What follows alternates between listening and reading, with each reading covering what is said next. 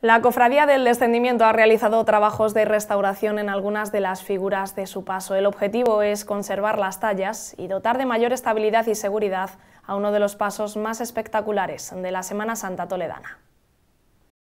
Se trata de uno de los pasos más espectaculares de la Semana Santa de Toledo por su volumen, por su complicadísima salida de la iglesia de las Santas Justa y Rufina y por el ser el que más tallas aglutina en un mínimo espacio. José de Arimatea, Nicodemo, Jesús en la cruz, San Juan, María Magdalena y a los pies del madero María Santísima.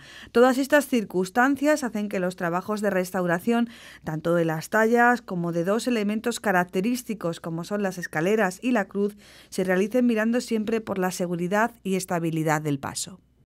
Las escaleras en este paso tienen una, una función importante, que es la de dar estabilidad a la cruz. Entonces, las escaleras, cuando llegaron al taller y las quité toda la pintura, las limpié bien y eso, vi que, tenían, que estaban bastante afectadas por la carcoma. Entonces era una tarea muy importante el, el poderlas, bueno, pues de alguna manera darle fuerza, consistencia. En los trabajos acometidos en los últimos meses también se ha procedido a cambiar y renovar todas las molduras y proceder a su dorado. En esta ocasión se ha optado por un dorado al agua, una técnica muy trabajosa que consigue resultados espectaculares y cuyos últimos pasos son el bruñido y el patinado. El bruñido del oro es eh, con piedra de ágata sacar el brillo.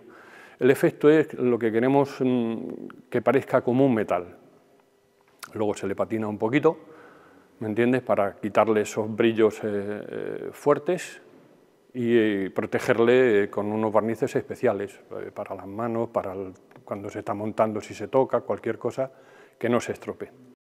Para la Cofradía del Descendimiento, estos trabajos han supuesto una gran responsabilidad, como también lo son a lo largo de todo el año las obras de caridad que realizan y que tienen una presencia pública, como es el Mercadillo Benéfico, que se instala a beneficio de una escuela de niños en Perú, o las aportaciones tanto económicas como en especie que se realizan para obras de caridad.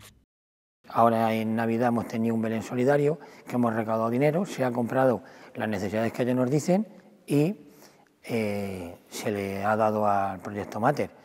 También tenemos eh, a las monjitas que antiguamente las que eran las conmemoradoras de Santiago, le ayudamos con fruta. Al albergue de transeúnte se le paga durante todo el año la fruta y siempre donde nos piden caridad, pues ahí la tenemos. La Cofradía del Descendimiento saldrá a las calles de Toledo el próximo Viernes Santo de su sede canónica, la Iglesia de las Santas Justa y Rufina.